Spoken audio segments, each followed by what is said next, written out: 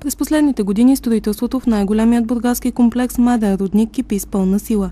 Новите кооперации никнат като гъби. В района около блок 308 обаче новодомците се оказват заобиколени от купища строителни отпадъци и камари на изхвърлена пръс.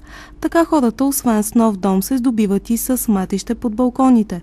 Това положение е повече от година, защото липсва всякакъв контрол от местното кметство, от така наречената общинска полиция за изпълнението на общинската наредба за обществен ред.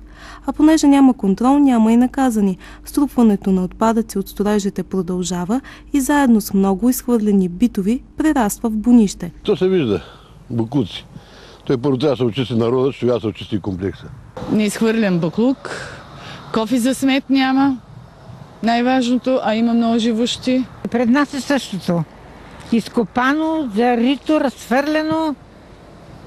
Фирмата, от всички, от общината трябва да има контрол. Е, сега го фана да му вземат с 1000 лева за тия букуци да си ги изчисти. Явно наредбата за управление на отпадъците и поддържането на чистотата в Бургас е само на хартия.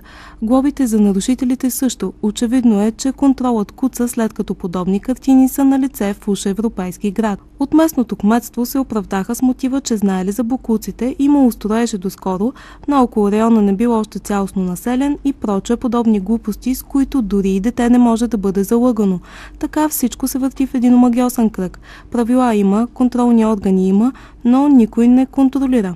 А ситуацията е за сметка на бургаските дънакоплаци. Тези, които плащат солени такси смет за панелките си на края на града, изхвърлят на определените за целта места буклука си, но страдат и търпят мизерията пред домовете си заради безнаказаността на недобросъвестни строители, а и съграждани и заради нехайството на общинарите.